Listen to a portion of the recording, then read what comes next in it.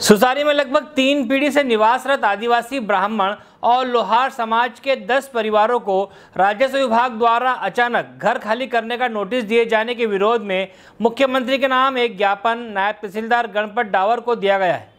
इन दस परिवारों के सभी आवश्यक शासकीय दस्तावेज़ इस स्थान के बने होने से शासन की इस ताबड़तोड़ कार्यवाही पर प्रश्नवाचक चिन्ह लग रहे हैं। क्षेत्रीय विधायक सुरेंद्र सिंह हनी बघेल ने शासन की इस कार्यवाही का कड़ा विरोध करते हुए बेदखल किए जाने वाले सभी परिवारों का पूर्ण सहयोग करने की बात कही है। कुक्षी से जावेद पटेल की रिपोर्ट। ग्राम सुसारी के सर्वे नंबर 316 है, जो मध्य शासकीय वर्तमान राजस्व अभिलेखों में दर्ज है। तो शिकायत प्राप्त हुई थी कि इस भूमि पे शासकीय भूमि पे अतिक्रमण किया गया है कुछ लोगों के द्वारा।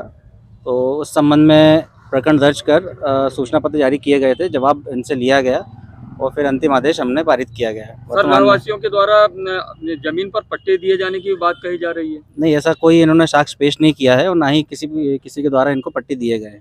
सर प्रधानमंत्री आवास की राशि भी डली है दो किस्त जी वो पंचायत का मामला है उस पर मैं जाँच करके मैं आपको अवगत कराऊँगा। अच्छा सर आपको ये जो है संज्ञान में कब आया कि वो शासकीय भूमि पर उन लोगों ने कब्जा किया हुआ है? लगभग तीन से चार हफ़्ते पहले मुझे संज्ञान में आया है तो तत्काल मैंने प्रकरण दर्ज कर लोग रह रहे हैं ये इनका कहना है कि हम तीस से चालीस साल पहले से यहाँ निवासरत हैं ऐसा कहना है इनका। ये जो पचास से साठ वर्षों से आदिवासी परिवार लोहार परिवार और ब्राह्मण परिवार के लोग इस जगह पर निवासित हैं।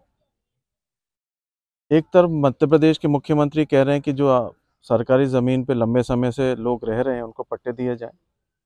और दूसरी तरफ़ कुक्षी विधानसभा के प्रशासनिक अमला नोटिस चस्पा करता है इनके परिवारों को कि आप मकान खाली करिए, नहीं तो आपका मकान तोड़ दिया जाएगा। मैं इस तरह की कार्रवाई का घोर विरोध कर रहा हूँ और हम इन परिवारों के साथ में हैं। मैंने माननीय मुख्यमंत्री जी को भी कल पत्र लिखा है। माननीय महामहिम राज्यपाल को भी पत्र लिखा है। और आप देखिए दो महिलाएँ मेरे साथ में खड़ी हैं। मैं आपको कहना चाहूँगा कि एक 80 वर्ष की आदिवासी महिला जिसका बेटा नहीं है बेटी बेटी की शादी यहाँ से करी। अब बेटी यहाँ पे उनके सेवा कर रही है। अब 80 वर्ष मामला जो है सुसारी का है जो शासकीय भूमि बताकर शासन जो है इनको परिवारों को जो ब्राह्मण परिवार है विगत नब्बे वर्षों से यहाँ पर निवास कर रहे हैं, मकान बने हुए इनकी पीढ़ी दर पीढ़ी यहाँ पर निवास करते आ रही और सारे दस्तावेजों में जितने भी शासकीय दस्तावेज़ उपलब्ध है, उसमें शासन द्वारा इनको, इनके नाम सब चढ़े हुए हैं। उसके उपरांत अब पता नहीं क्यों ये काम किया जा रहा है, गरीब ब्राह्मणों को वहाँ से निष्कासित करने के लिए अभी एक इनकी ओर से सम्मन्स जारी हुआ है और बताया गया है कि तीन चार रोज में ये ज़मीन खाली कराई जाए परंतु ऐसा कुछ भी नहीं है तो मालिकाना हक के उसमें रह रहे हैं। इनके सारे रिकॉर्ड दस्तावेज़ सब बता रहे हैं।